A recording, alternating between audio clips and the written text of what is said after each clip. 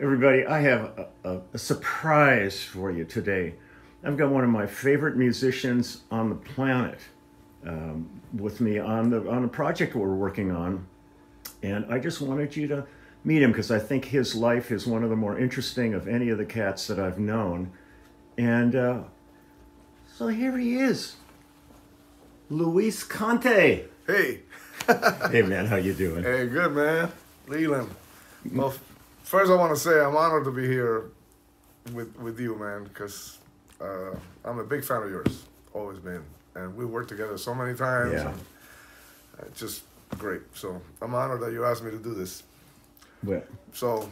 Well, I, the thing I find so interesting about you is, you know, like so many of the guys I knew, you know, grew up in different parts of, you know, the country or different parts of LA, and uh, and they've all ended up at this gig. But your journey getting here is like to me far more it's deeper and more amazing than most of the cats. And when I've heard you talk about it in the past, I just I'm really taken aback by it because you've really had quite a journey here. So I just thought it'd be fun to share it with everybody. Sure, man. Well, the story goes, you know, as you know, I was born in Cuba, and I was born in San, I'm from Santiago de Cuba, which is the second biggest city in in Cuba. If you see Havana, we're in the southeast, kind of north of Jamaica, and uh, so I grew up there and around the age of 14, my father was a doctor. My father loved music. He played instruments. If he didn't practice, he would be dealing with music. He had friends that were musicians, etc., etc. So I grew up around this whole situation of the true, the Cuban troubadours mm. in Oriente, Cuba, the singers, guitar, the guitar players, and uh, it was just music was all around all the time in my existence while I was there as a kid, man. On top of that, one thing that I, I think I never told you, Leland, is like my grandmother, my maternal grandmother, lived in Havana, and she would come visit us on a bus, take a whole day trip down here, and stay with us for a couple of months. Oh wow! And, and then go back to Havana again. Whenever she would come, she would bring me an instrument because since I was a little boy, I was beating on things. And she said, this kid, this kid loves music. This kid loves to play. So she'd bring me a guiro. Mm. She'd bring me a pair of maracas, claves. I had all these things. It was all my, from my grandma. How cool. That's yeah. wonderful.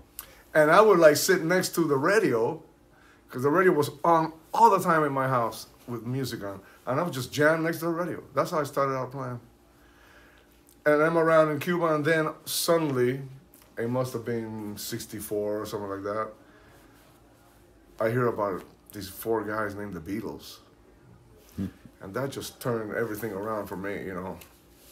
Um, Cuba back in the day, well, the embargo and the whole deal, you know, we are all closed up, so we couldn't get any information. Actually, the first time I heard of the Beatles was a friend of mine that had a friend that had left with his family to the United States, sent him a bubblegum card and a letter and says, hey, this is what's happening out here. We had no idea wow. what was happening. Yeah. So anyway, I grew up listening to Cuban music and I grew up listening to pop and, and the Beatles and all pop American music. My dad had a radio, a portable radio he had bought. He let me use it, and he would get some kind. Of, I would I could get this one station. I've never known what it was. That played pop music. Hmm. I was the luckiest guy in the world. And this this station from could have been from Jamaica. Yeah. Probably not from the states. It was just I was listening to everything that was going on in the states at the time, while being in Cuba all closed up and listening to Cuban music and Santeria players playing real authentic shit. You know, so I'm I'm like. Because yesterday you were talking about like the the Buena Vista Club coming to you know guys were at the house playing. Right.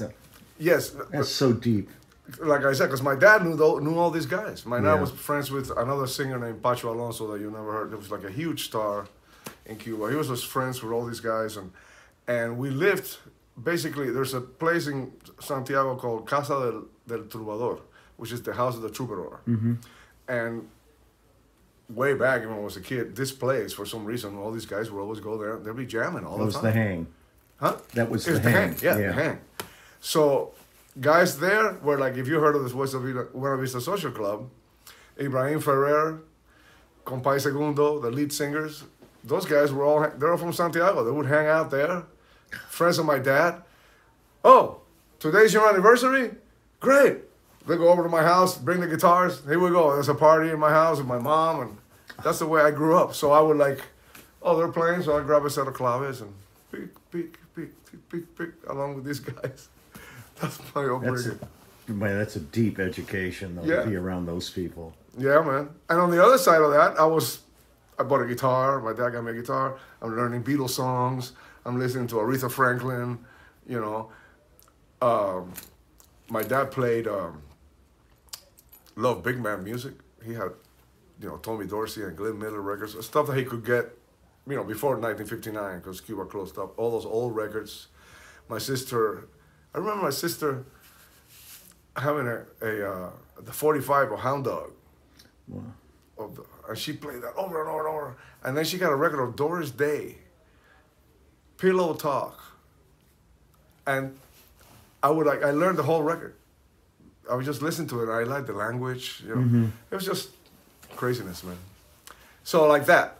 Now, I'm now 14 years old, and the government of Cuba, the President Castro says, from the age of 15 you're in the military. Nobody leaves the island. Nobody's leaving the island, period.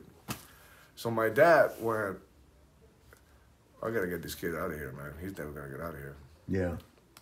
So, long story short, he got me, I was able to get out of Cuba. And when I left, I left legally on a flight from LA to uh, Spain. I, there were two freedom flights, I think a month or every couple months. One was to Spain and one was to Mexico. And I was just lucky enough, I got the one to Spain. So I ended up going to Spain. I was taken care of there by a ref, in a refuge by some Jesuits. I was there for four months, and I got finally got my visa and all that. And my sponsor was a third cousin of my dad, who I never knew. His name was actually he's passed away now. His name was Luis Conte also. Oh, how crazy is that? Gee. Yeah, and where did he live? He lives in Hollywood, man. He lived on La Mirada, 6443 La Mirada. Like uh, it's basically found on Wilcox. Yeah. It's right at the center of Hollywood. So I I come from Cuba, from this whole world of Cuban music and all this stuff and, and rock and roll that I'm hearing on the radio, and now I'm here. And I'm walking that story I told you about the we were living in rationing cars in Cuba, and the uh, the wife of Luis, Lola, she said to me, "Hey, listen, if you want, it must have been a weekend because it says, you know, Monday we're gonna sign you up and you can take you to school and sign you up. So if you want, you know, walk out the door, go make a right, you'll see a big street, that's sunset, make a left, you go a few blocks, and you see this big building, that's your school. So take a walk. So No, you had said explain what the ration cards were in in Cuba. yeah, we had rationing cards. I mean, I my dad had this card, so if we had to buy milk, eggs, shoes, clothing, anything. It's all ration. It's all by this card. So you, I guess you'd go to the store. I mean, I was a kid, so I don't know, but Yeah. you go to the store and says, "Oh no, you can't. Your son needs uh, tennis shoes for bas for PE." Well, he already got shoes six months ago, so you're only allowed a pair of shoes for a year. So you're mm. screwed. You know, it's, it was yeah. horrible. Yeah. And worse than that, it was like the food, you know, milk and things. My, my grandmother was old; she needed certain things. It was it was pretty hard. So, I'm out here, and she, and Lola tells me go take a walk. And man, I get to the corner of Sunset. I make a left, like she says, and some car just pulls up, and out of the car, in the back of the car, these two girls walk out. These hippies with bell-bottom pants, no shoes, no bras, you know, a little tank top and shit. Just, and I'm going. You can't get shoes here either. I mean, what the, what the hell? You know, shock. This man. is America. Yeah, this is. Amer- Why did I leave? Wait a second. Where's my rationing card? You know, That's great. it was shocking. Yeah, but you know, so I just grew up here, man. I went to Hollywood High School, and I started. I'm a really late comer in music. I, I wasn't sure what was what I was gonna do. One thing you must you have to think about, being 15. uh, It was like for my in my life, it was like turning off the lights. So like you're living one life right now, Yeah. and you're gone, and you're in a whole other life, you can't even speak, call, see, talk to, and communicate with your parents. I had no I communication. can't imagine. I just can't imagine. Yeah, I didn't talk to my mom and dad until I was 22, Jesus. and I left when I was, you know, almost 15. Wow. All I had was letters that would come late. You know, I would write my parents um, every month. Every month I would write my parents, and I would get a letter saying, "We haven't heard from you in like months," Uh, because letters would. They know, weren't delivering them. They weren't delivering them. Would they censor? Yeah. Yeah. They would read things and you know the Yeah. and, and stuff like that. So it was pretty hard, man. But you know, I made it through high school, and then I just music is got kept me. I bought a guitar. You know, I had a little job bagging groceries at the Hollywood Ranch Market. God, I love the ranch market. Yeah, I grew up there, man. That's I worked at the Hollywood Ranch Market boxing groceries. Ed. Sullivan, I mean, uh, Steve Allen Theater was right next door. We used to go there when I was in, in high school, and because they would bring the camera out onto the street, and like the man on the Yeah. street moments, and we would be out there going crazy and shit, so the camera would see us and Yeah, stuff. man. And then we'd go in the ranch market. Some guy like laying in the produce on a hot night and stuff. It was crazy. That was man. great. I, I Yeah. didn't know you had worked there. That's bitch. Yeah, I lived three blocks away, and and I uh, I would go get the groceries, and I was I had just turned sixteen. I remember the manager, I was they were really busy, so I, I went and helped, and I started putting, putting the groceries in the bag. And this guy comes over and goes, "Hey, you want a job?" I go, "Yeah." I started working there, That's great. boxing groceries. Yeah, man, Hollywood, the Hollywood Ranch Market. Wow. Oh, wow. So, I grew up. It was all Hollywood right there. Actually, I was going to ask you because I remember you were probably one of those guys. I would walk from Hollywood High down Sunset to Cherokee down mm-hmm. Sunset Sound. Yeah. We we work a lot now, but those days you were already doing sessions. Yeah. While I was in high school, and you were probably one. Of, I would like walk by there, and I would hear commotion, and there was people out in the parking lot or things going. You're probably one of them guys out there. Probably was. Yeah. Because we were there all the time, especially Sunset Sound. Right. You know, because you had, because right on the street, the front of that place, right behind it, is where the basketball court and all that is. So you can hear everything going on. Where like at Cherokee and those, everything's in the building. Right. Where there you could hear cats hanging out in the parking lot Right. and stuff. So I would I would walk I would go to Cher- to that street because I would make a right and that's where I would hear the com- stuff that's going on. Yeah. I wonder what's going on in there. Because right behind that, if you go one more block south, that's a, there's a park right there, Yeah. Cherokee Park, and I used to go hang out in there. You know, so then, so I just kept going, and then all of a sudden, man, I discovered that I, as soon as I was 18, I, I left home, that the, the place I was staying, and I got my apartment and living with a couple other guys, roommates and stuff like that. And I realized I can make 50 bucks hitting the bongos and instead of like bagging some groceries or I think I'm gonna do that. That's Yeah. basically how it went down. You know, and I started, so I started, I knew it all, you know, as far as the Afro Cuban thing, Yeah. because I grew up in it and I was doing it. And I was around all those guys, not even, not doing it with them, but I was around it. I- Yeah. it was in here, and I just came. It all came out. It's crazy. Like a perfect storm when that Yeah. stuff happens. Yeah. Yeah, and then you know, and then the other side of that, my love of American music and rock and roll. I love all, all of it. I love it all. So I'm playing a little guitar. You know, it became like a whole thing. Yeah, this is what I'm gonna do. I'm gonna play some music. You know, so I started. Like we all do, you know, Yeah. you meet this guy, you meet that guy. You know, I don't have the same story as most of you guys that you say, "Oh yeah, I was in a high school band. My band, you know, I was." My high school days, basically, I was sort of lost. I had no parents. I was living with my cousin. Very nice, very cool people. Very thankful that I was living with them. But it wasn't really my family. I was just all Yeah. alone, man. So I was. It was difficult. So I said I left. Then I found my spot, and it's like, okay, it's music. But now I'm now like 18. You know. And my first road gig, I uh, I I started finding out what's where do you go? What do you do? So I and I heard, oh, there's a musicians union. Mm-hmm. I knew nothing about music. I was in the uh, retail clerks union because I bag groceries. So I figured, if there's a union, I'll go there and get a gig. Yeah. Yeah, right. well, guess what, man? I had uh, met a, some good people before, and I the day I end up going to the union to see what's happening at the union, see if I can if this I sign up and get a job. I run into this guy who I hadn't met before, and he says, "Hey, Luis, there was just a couple of people here that were looking for somebody to play percussion. They're they're going. They, they have a record, some a single out or something like that. They're going to New York. Really? Yeah. I got, where are they? He says, I don't know, but they they just left. But I have their number. You want to come? I go to a payphone.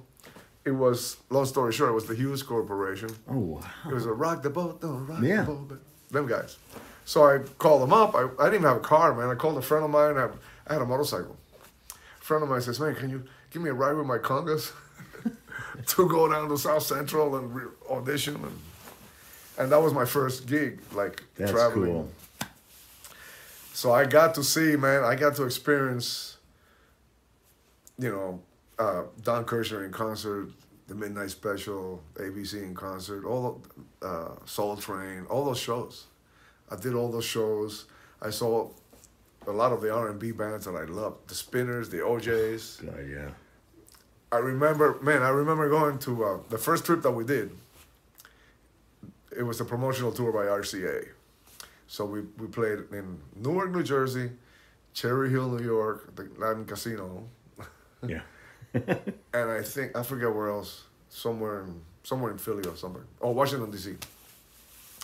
And the very first gig, we got right from the airport. We went right to sound check, and I'm walking in the I walk in the back, and I hear don't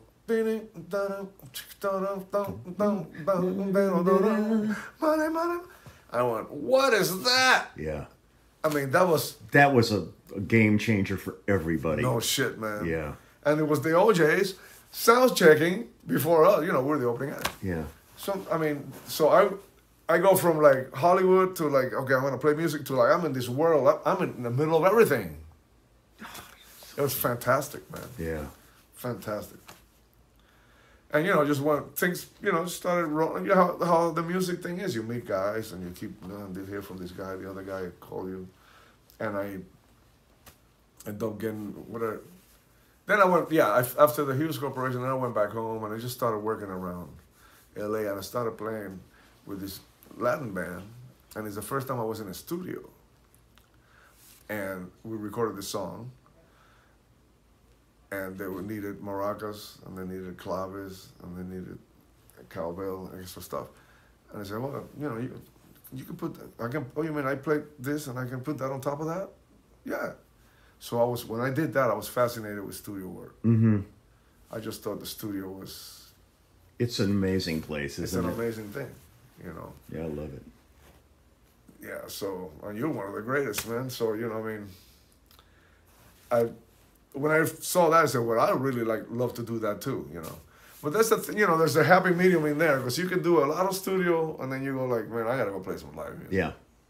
Then you do a lot of that and you go, oh, I think I want to go back home.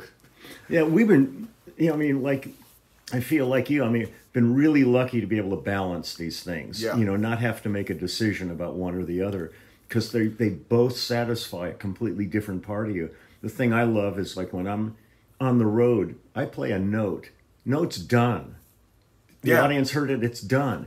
Get in the studio, they can dick with that note for a month. That's you know? right. And, and so I, I love having that, but I love making a record. Yeah. So it's it's you know it's all these, these two different worlds uh, we Two get to travel in. And, and you're right that we've been able to balance it, you know, because some guys haven't done that. You Yeah. know?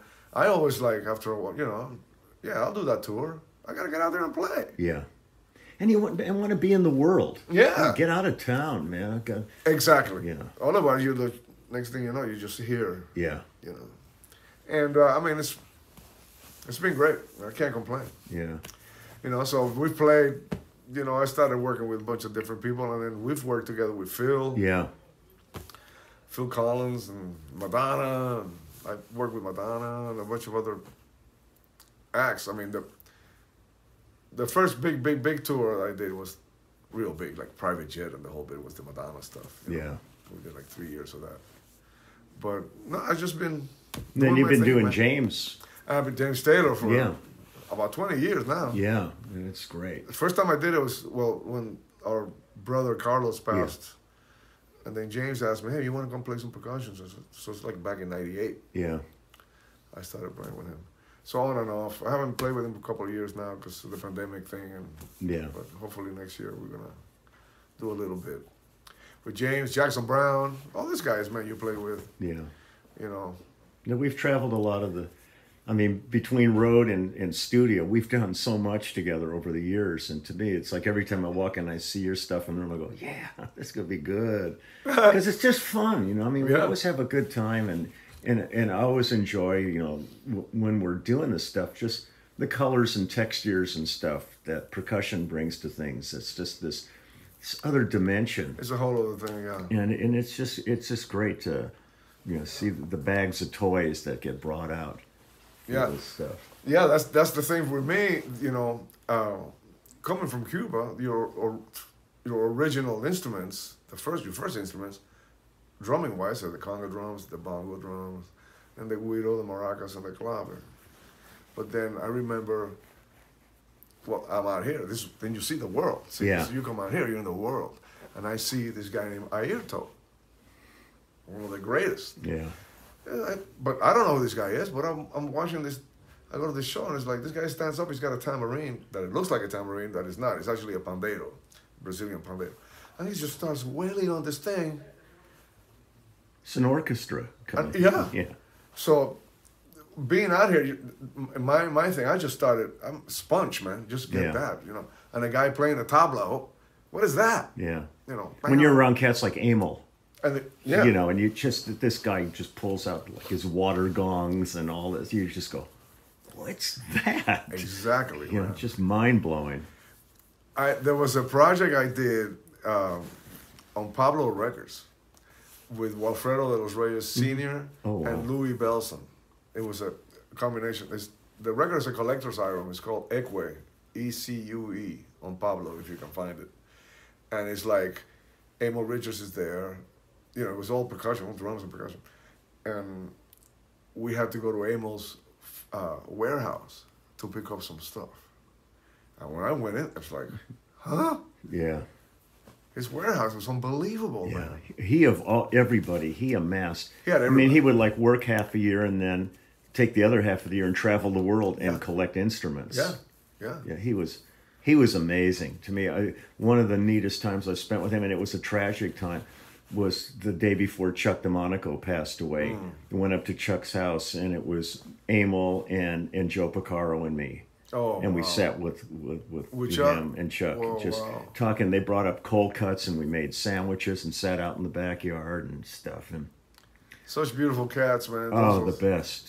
And Emil and Joe was gone too. Yeah. And, and Chuck. And, You, Those guys. You, you just treasure every, all these relationships because, you know, even when cats live old. I mean, we've been around it a long time now, so you know, it's you know, you start to see the cats going away, and uh, the older you get, they're irreplaceable. Yeah, they're all unique. everybody starts going. I know, man. And Emil, you know, those guys, they're so re- Larry Bunkers and all. Yeah. You know, those.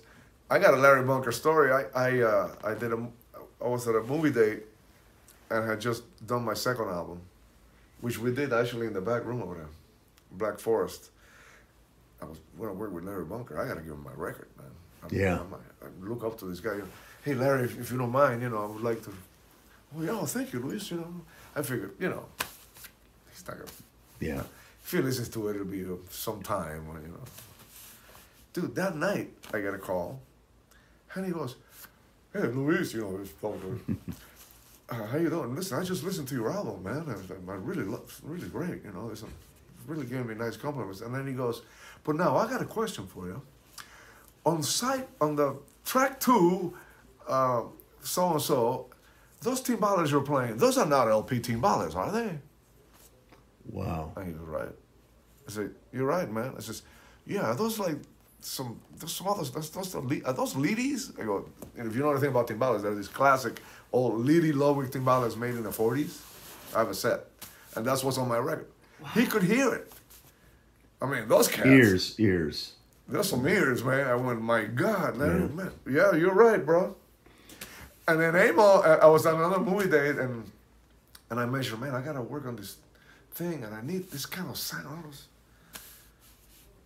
I went home and then Emil calls me up and goes, "Hey, I was just thinking about what you were talking about. Just go to go to Bed and Bath and Beyond and buy some salad bowls and put them upside down and get some mallets and hit them. You know, just Yeah, I mean, beautiful guys, man. Yeah, yeah. Gary Coleman. There was a whole bunch of Oh, those yeah. cats that were just.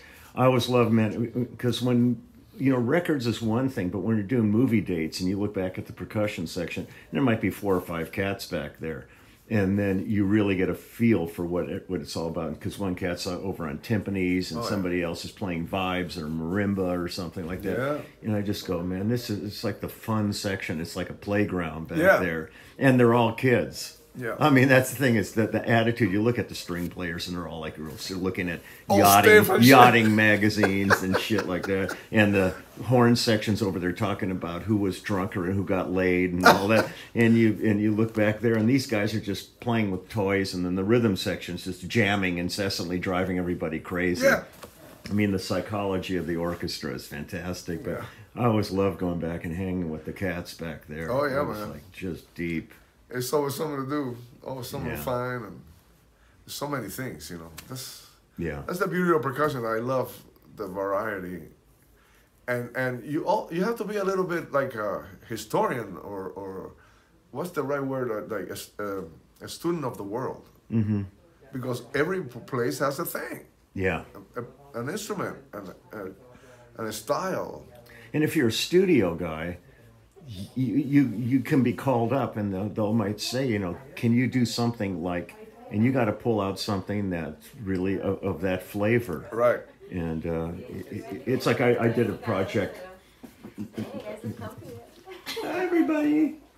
Um, I did a project and and they had Jack Ashford Oh, come in and do it, you know, and he pulls out this box of tambourines and I and he starts dancing that with that thing, you know, and, Yeah. and dude's like six five or something. Yeah. He's a huge cat. Yeah, I've never watched- met him. Man, oh man, he's he. I was working with. Um, it was Eddy Mitchell, the French. Oh, wow.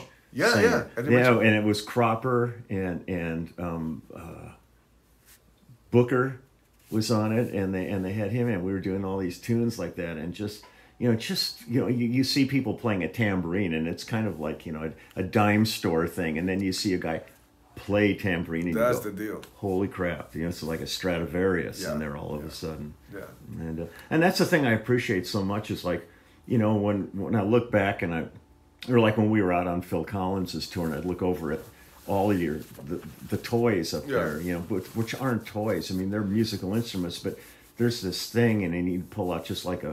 a like a, a strand of shells or something like that, and the sound that that makes as compared to something that's a little bit you know tighter sounding, and each one has its own vibe, and then it's really the musician who just makes those things be what they are because in somebody else's hands they could be crap That's right.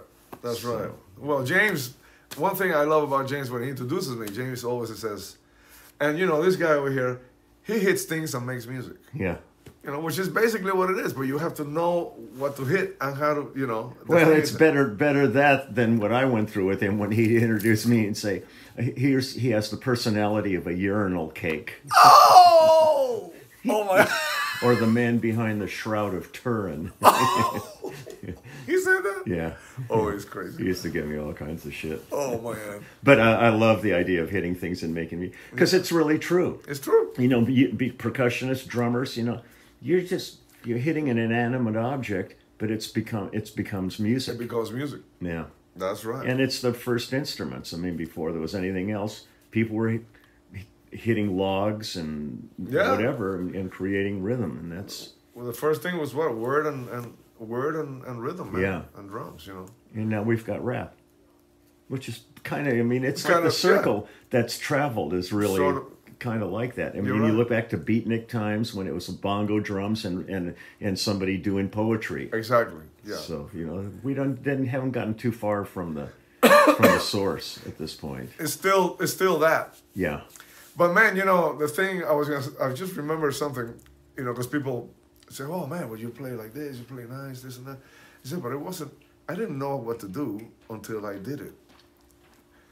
Cause I'm just like kind of self-taught, right? yeah, So my first recording session ever, which I actually, my first recording session was the one that I talked about that I do in the overdose. Yeah. then when I actually get an actual call, my first call that somebody recommended me, the producer, I, I was playing the conga drums, and they go, and I played, and he went, "Yeah, can you play simpler?"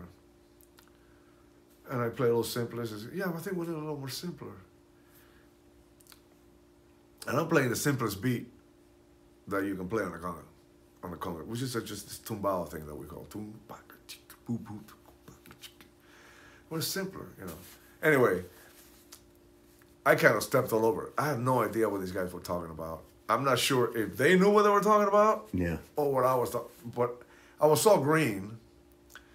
I went in there and they were real nice. They gave me wrote me a check for a hundred bucks. I said, okay, thank you. Got it." And I was as I was leaving, a friend of mine that played percussion, I saw him driving in to the parking lot. He was coming in. They had called him. They got rid of me. So my very first session, I like sucked. so you Oh, great. yeah, I got sent home, man. So I learned. I was like, "What happened?" What? I I know that was some. Something wasn't working. Yeah, I had the vibe that I don't think I did good, know. So I kind of like I don't know. I just taught myself to like fit in and and what does it mean you're not too busy or what is? I never thought about time. Like you don't Yeah. you rush or you don't rush or whatever. I just, it's just what I do, you know. Yeah. And then I just started getting just learning, watching guys.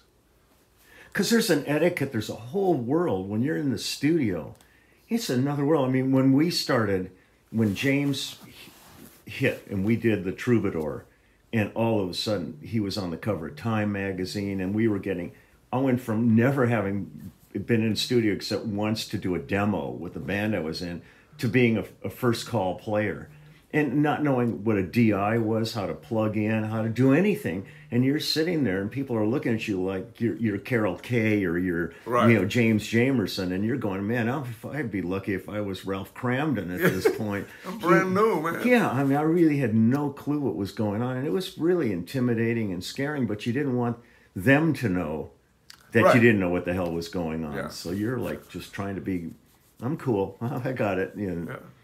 Know. and, and I had experiences. Uh, uh, just remember another thing, and then I go somewhere else, and I had one cowbell. I know the funny, the joke of the cowbell, right? But I had Yeah. one cow, and but uh, this producer goes, "Hey, "You have a lower one?" And I went, uh, "No, it's so." I went, "Oh." I guess just not one. You know, if I'm playing live, this is the bell. That's cool. But Yeah. now we're in the studio. Well, I guess I have to have a few different ones Yeah. because we don't. Oh, that's how that works. It's a real learning curve. Yeah, I was learning by, you know. Yeah. Well, I remember talking to Hal Blaine about that, and he he was telling me that when he got started, um, somebody said, you know, can you you can play percussion too, can't you? Besides drums, and he went, yeah, of course, having never done it Yeah. before. But he said, man, if I would have said no, they would have hired somebody else. So he said, I immediately went out. Talked to a couple of guys, figured out what I might need to have there, Yeah, and then figured it out because he said I didn't never wanted to say no to anybody. Right. So you just you make it work. You just go there and you make it work, Yeah. and then you learn, and you oh yeah, you know. Yeah. So And each session's a learning experience. So you get to the next date, and they, they if something like that comes up again, you go, I got it. Yeah, Right. I'm good. You know? right, right, Yeah. yeah. All like that, bro. Man, we still get to do this, and we're here today making great music. We're still doing it. Yeah, That's uh, I love it. what a blessing, man. I love it, man. Well, thank you, man, for for sitting down and doing this. This is really great because we never really gotten a chance to to do this, even like out on the road. You know? Yeah, it's we like never- We're like passing ships out there. It's like your world just turns into this other thing, looking for a good sandwich or something. I, do you remember me? I saw you. Uh, I was on my friend's. I was in the back of my friend's motorcycle in Paris. yeah, Do you remember that? And like we're going. I said, well, yeah, let's go. Drive me down over over to Notre Dame, man. Okay, so we. I don't know what this is going on. Now we'll go by that river and we're gonna make a right. And there's Leland. You remember that? it was so weird. What's it? I said, oh, I'm just waiting for Maureen. She's like, she was doing something. Yeah. It was. I mean, that's the thing that, that the craziest thing. I remember being in, in uh, with Maureen in in we were in Paris. We went out to dinner, and we went to this restaurant. We walked down a street to get to it, And when we were leaving, we started to walk back up that street, and I said, "We've already been up that way. Let's go to the let's go to the right. Let's go down that way." We walk by we go we walk by the next restaurant. I hear, "Hey!" And I look over. My parents are there. I had no idea they Oh, were wow. on vacation, and they were in the next restaurant having dinner. That's amazing. I mean, it's just the weirdest things Yeah. that happen when you're on the road. The road. But the more you're on the road, the more these things happen because this is the world that we all live in. Is we're always in transit somewhere, and if you're not together, I remember I was with Tracy Chapman somewhere on the road, and I think Daryl and those guys were driving by in a van or something, and they looked out the window. It, was probably back in the, it was like '97 or somewhere around that period. I think where you you came on to fill 97, 97. in 97. Yeah, and I I came back in 2000. right. Um, but they said they were driving in a van, and I, it was somewhere in Europe, and they said. There's Lee going down the street, and I was with Tracy Chapman over in Oh, Europe wow. at that time. So it's just weird, you know. I mean, you, you, you I always kind of think, you know, I live in a big city in L.A., but there's so many times it feels like Mayberry. You know, I mean, Yeah. it's just like you're on the freeway, you look in the next car, and you know the cat in the car. Yeah, go, yeah. What? Yeah. Millions of people here. And we know a lot of people too. Yeah. That's the thing. Yeah. Also, you know, it's a hell of a community. My kids laugh. at- I remember one, the very first vaca- once they were big enough and they were walking and stuff like. that. We'd go down to Clear. All my family's in Clearwater. So we'd travel to Clearwater, and we have to change planes because it's from no direct flight from here. And we're at the at the airport, and I'm walking to the airport, and I say, "Hey, Luis, what's, hey, what's happening, David? How are you doing, man?" This is, and then, hey, oh yeah, you know, Yeah. cats. The now- airports more than anything. Yeah. It's always see cats you know walking Yeah, through an now we're now we're changing planes in in uh, Denver, and same thing happens. Finally, my son was like, "Dad, you know everybody." I was like, It's crazy, "It's just isn't it?" We just know people. I love it. I mean, Yeah. to me, it's it's so fascinating that this that the world that we, we travel in. We're lucky. We are really We're lucky because man, I mean, I mean, we're driving like today, coming to the studio. You know, we, we have to be in L.A. traffic and all this stuff. You know, we don't. We're blessed. We don't have to. We don't live like most people. Then you sit there and you look at the people in, next to you on the freeway when you're stopped. And you go, they have to do this every, Every day. You know, maybe a couple once a month or a couple of times a month at the Fine. most. That's okay. Yeah. Or could we start at eleven? Yeah. Yeah. Do you mind? Yeah. Know, oh yeah, no problem. No, Yeah. this is great. It's a different world. Yeah. Thank God, man. I don't know what I would have. I have no idea what I, where I would have ended up. If it's not for music, I have no idea.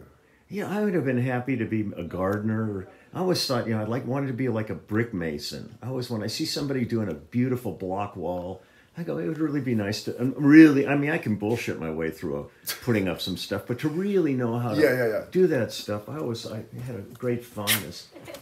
well, I think we're being called back to work now. I guess the uh, Well- the salt mine calls. The fun is over. Thanks, man. All right, it's, man. It's so great. I love this, man. And we got years ahead of us. yes, sir. Okay. Thank you, Leland. Okay, Luis. Bye bye.